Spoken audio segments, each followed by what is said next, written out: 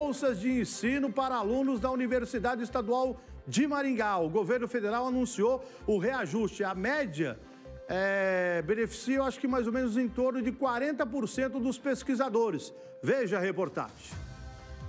Adriano é formado em engenharia civil. Depois de cinco anos de graduação, ele também emendou um mestrado de dois anos. Agora está na hora de um doutorado. São sete anos dedicados ao trabalho de pesquisador. É muito comum as pessoas encararem o aluno de pós-graduação como um aluno e a bolsa como um auxílio, quando na verdade o aluno ele se sustenta exclusivamente pela bolsa. Então ela não é um bônus, ela é sim o salário desse pesquisador.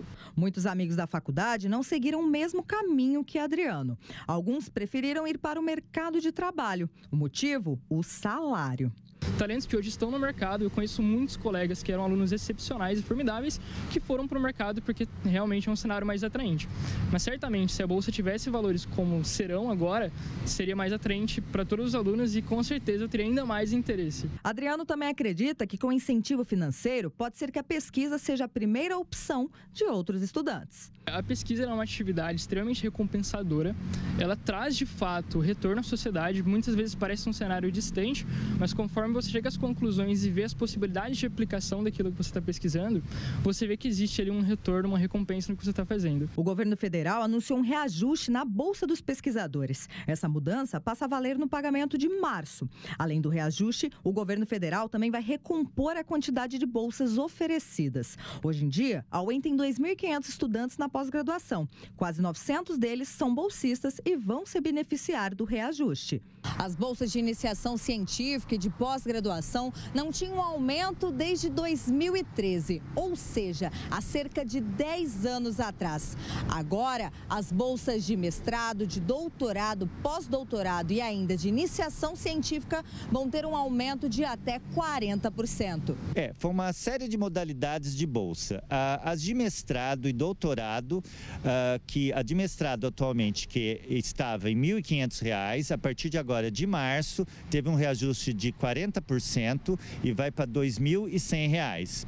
A de doutorado, que estava em R$ 2.200, vai agora para R$ 3.100. Uh, a de pós-doc, que estava R$ 4.100, irá para é, R$ 5.200. E também houve aumento nas bolsas de iniciação científica, é, pra, que são para os alunos de graduação. E como diz o nome é para iniciar os alunos na, na pesquisa científica. E essas tiveram um aumento de 75%, saindo dos atuais 400 reais para é, 700 reais.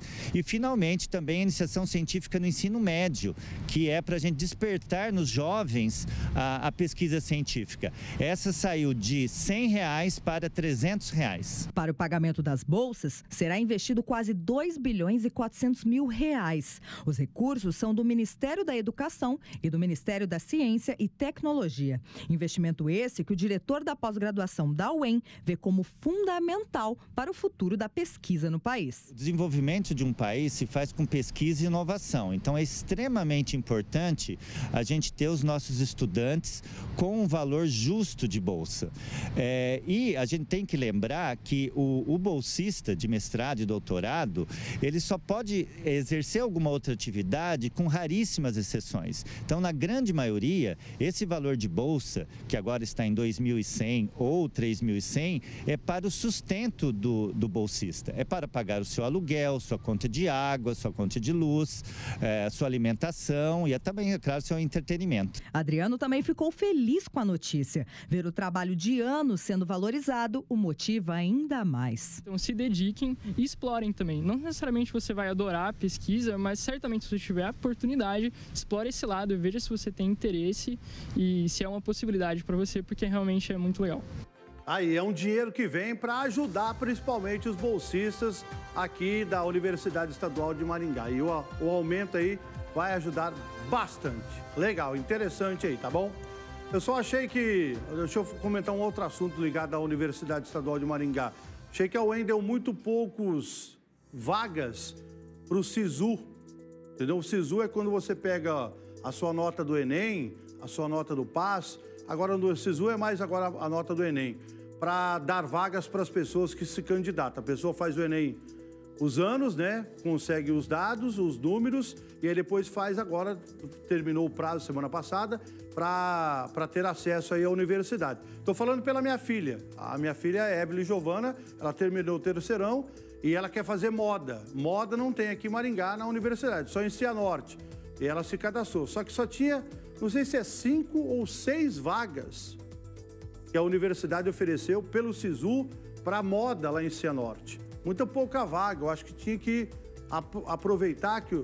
Ah, o Enem é importante, vocês faz tudo para a turma fazer o Enem, para fazer o PAIS, para conseguir os números. É hora, na hora que a universidade vai dar o, os números de vaga, vocês dão uma micharia. Essa que é a grande verdade. O tamanho da UEM, vocês dá cinco ou seis vagas. Eu estou falando de moda porque minha filha quer fazer moda, entendeu? Olha o tanto de gente que quer fazer moda. Eu acho que vocês estão interessados é só no dinheiro do vestibular, na hora que o povo quer, tem que pagar o vestibular lá. Mas não tem problema, não. Minha filha, claro que eu, eu tenho certeza que com seis vagas ela não vai passar, né?